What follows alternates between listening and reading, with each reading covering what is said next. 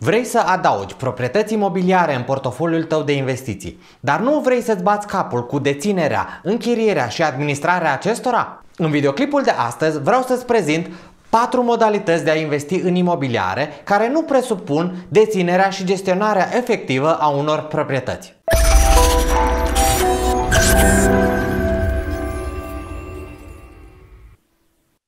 Salutare! Numele meu este Ovidiu Tarcu și vreau să-ți urez bun venit pe canalul meu de YouTube. Imobiliarele fac parte din categoria greilor atunci când vorbim de investiții. Randamentele oferite de acest tip de investiții au ajutat milioane de oameni din întreaga lume să-și construiască averea. Însă, investițiile imobiliare au și o particularitate mai deosebită și anume faptul că necesită puțin mai multă implicare activă. Atunci când investești într-o acțiune individuală sau cumperi unități într-un fond mutual, singura ta treabă ca investitor este să o deții. Bineînțeles, depui efort la început pentru a identifica investiția potrivită pentru tine, dar apoi nu mai trebuie să faci nimic. Nu ești implicat în conducerea companiei sau a fondului mutual. În schimb, ca investitor imobiliar, după ce finalizezi achiziția unei proprietăți, ai ceva mai multe responsabilități. În primul rând, trebuie să te ocupi de renovarea și amenajarea proprietății. Apoi, trebuie să o promovezi și să găsești chiriași buni. Iar apoi, trebuie să te ocupi de eventualele probleme sau reparații care sunt inerente. Personal, pe mine nu mă deranjează această parte a investițiilor imobiliare. Dar unii investitori nu sunt interesați să-și bată capul cu finanțarea, deținerea și gestionarea unei proprietăți. Iar dacă și tu te afli printre acestea, acest videoclip este pentru tine. Astăzi vom vorbi despre 4 modalități de a investi în imobiliare fără să deții efectiv proprietăți. Dar înainte de a începe, dacă apreciezi acest gen de conținut, asigură-te că ai turtit butonul de like ca să nu se mai uite așa ciudat algoritmul YouTube la mine atunci când filmez. Iar dacă tot ești acolo, Transformă butonul de abonare din roșu în gri și sună clopoțelul de notificări astfel încât să fii informat de fiecare dată când public conținut nou. Bun, acum hai să ne punem pe treabă. Prima modalitate de a investi în imobiliare fără a deține proprietăți este prin intermediul unui REIT. REIT vine de la Real Estate Investment Trust și s-ar traduce ca trust de investiții imobiliare.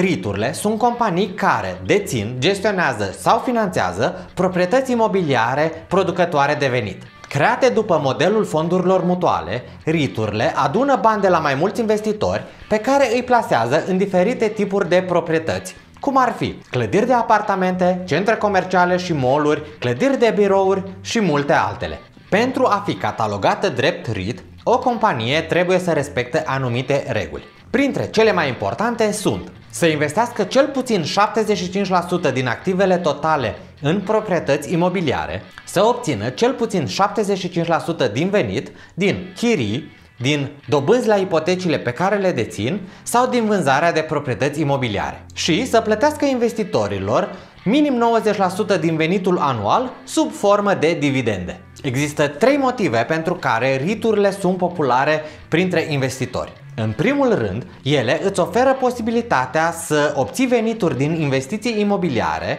fără să fii nevoie să finanțezi, să cumperi și să gestionezi proprietăți personal. Există o echipă de oameni care face deja asta pentru tine. Un al doilea avantaj al riturilor este faptul că îți permit să investești într-un portofoliu de active imobiliare fără să fie nevoie să dispui de un capital major. Vom vorbi imediat despre cum poți să investești într-un RIT. În al treilea rând, datorită obligației de a distribui dividende anual, persoanele care investesc într-un RIT își construiesc o sursă relativ predictibilă de venit pasiv. Nu se întâmplă ca la alte companii unde adunarea generală a acționarilor poate decide să minimizeze sau să anuleze distribuirea de dividende într-un an. Majoritatea RIT-urilor sunt listate la bursă. În consecință, poți investi într-un RIT cumpărând acțiunile sale prin intermediul unui broker.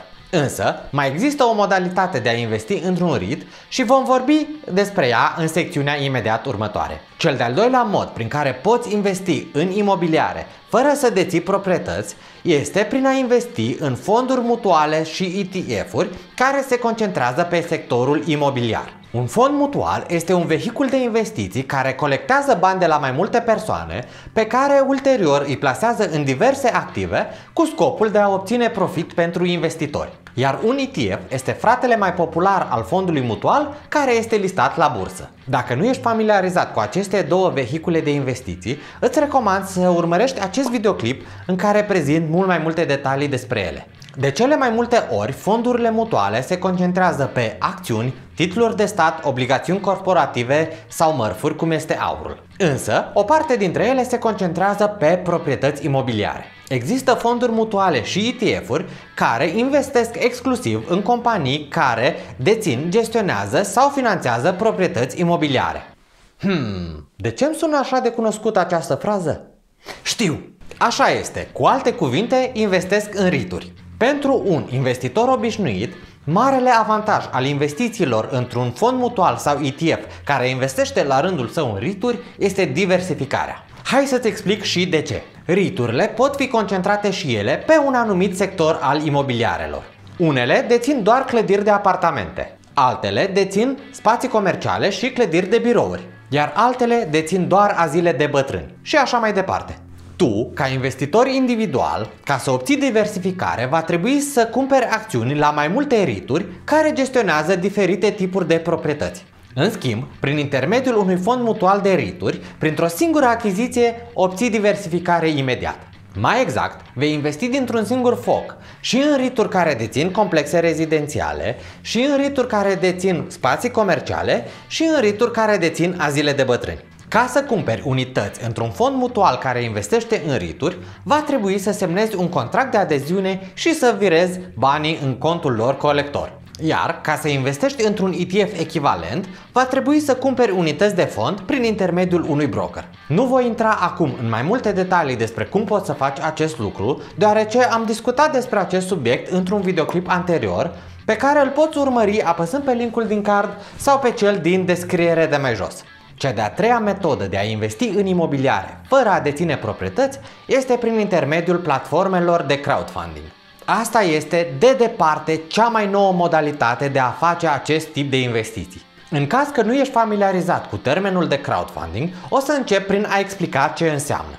Crowdfunding-ul este o modalitate de a finanța un anumit proiect, de obicei o mică afacere, strângând bani de la un număr mare de oameni care contribuie cu o sumă relativ mică. Acest proces se face folosind platforme online dedicate și multă promovare pe rețelele de socializare.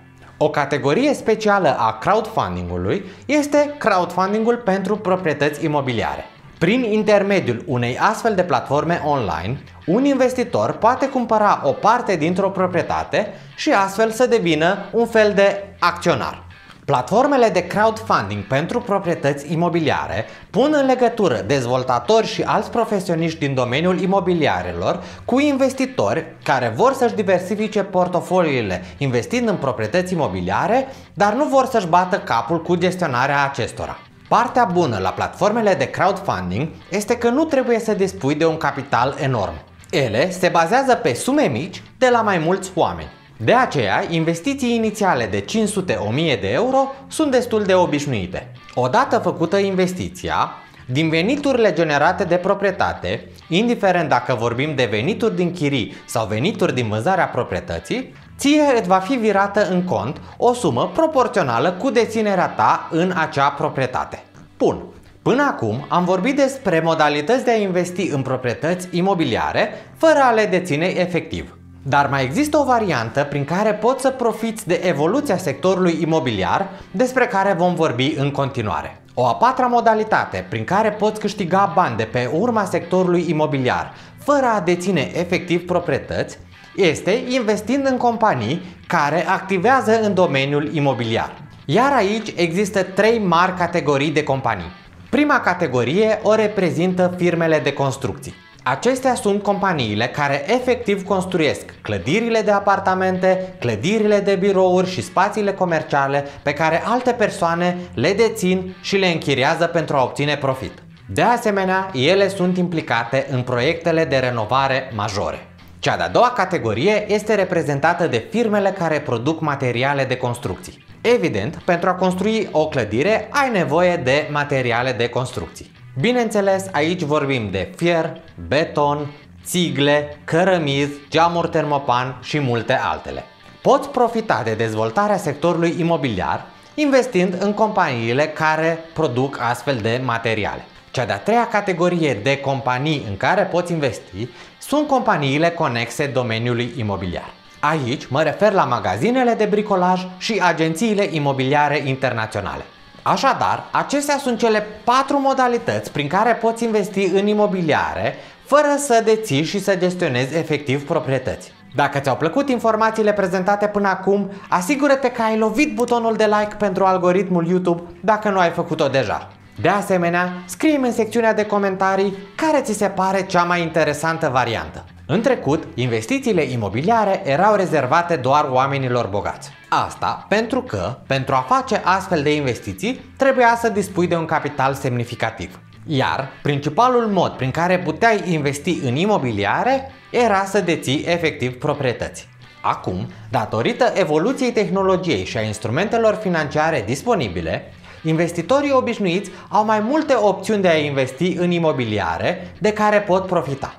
Iar capitalul necesar pentru a face acest tip de investiții nu mai este la fel de mare. Dacă îți dorești să adaugi niște venituri din imobiliare în portofoliul tău de investiții, dar nu vrei bătăile de cap care vin la pachet cu deținerea și gestionarea unei proprietăți, îți recomand să analizezi opțiunile prezentate în videoclip. S-ar putea să identifici una care este mai potrivită pentru tine. Mai vreau doar să menționez că fiecare dintre opțiunile menționate în videoclip are particularitățile sale. Așa că asigură că îți faci temele și studiezi în detaliu opțiunile disponibile înainte de a investi bani real și nu asculta orbește de cineva de pe YouTube sau dintr-un grup de Facebook. Acestea fiind spuse, eu îți mulțumesc că ai urmărit videoclipul până la final. Dacă ți-au plăcut informațiile prezentate în el, arată-l unui prieten printr-un simplu share. Iar dacă vrei să vezi pașii pe care trebuie să îi urmezi pentru a investi într-un fond mutual sau într-un ETF, îți recomand să apeși pe videoclipul care a apărut acum în dreapta mea. Iar până data viitoare, amintește-ți că cel mai bun lucru pe care îl pot cumpăra banii este liniștea financiară.